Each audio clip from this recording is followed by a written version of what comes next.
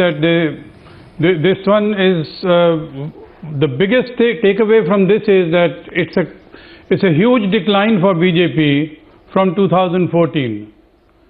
And uh, uh, if the results are uh, any indication, the leads, it only means that it is a hung house. Uh, because no one seems to be getting a majority. BJP plus is not getting majority.